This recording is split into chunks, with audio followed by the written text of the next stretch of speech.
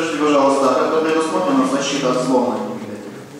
Ну, вообще говоря, просто у нас существует э, техническая служба, которая в принципе обеспечивает, э, ну, если какие-то... на- на- В принципе, у нас идет э, постоянное копирование. То есть даже если каким-то образом сломали и там уничтожили, он себя восстановит. Ну а так, конечно, это любой сайт, любое учреждение, э, вот скорее это вопрос не ко мне, а к службе нашей техподдержки. Можно такой вопрос? А, а как вы смотрите на идею а, синхронизации данных а, вот этих библиотек и э, Википедии?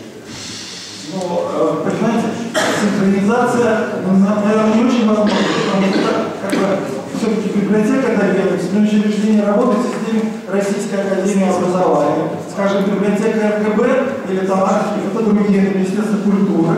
То есть даже между библиотеками а, очень трудно, ну и переменный каталог существует, в принципе, но даже между библиотеками достаточно сложно провести а, синхронизацию. А Википедия, если говорить о ее юридической, э, это некое добровольное сообщество, поэтому э, ну, синхронизация заключается в том, что любой э, редактор Википедии может их использовать, а Википедия, в силу того, что она может быть использована для написания статей. Да- Давайте немножко поясним. А, В Википедии э, существует такой э, ну, подраздел, сайт, а, как Викитек.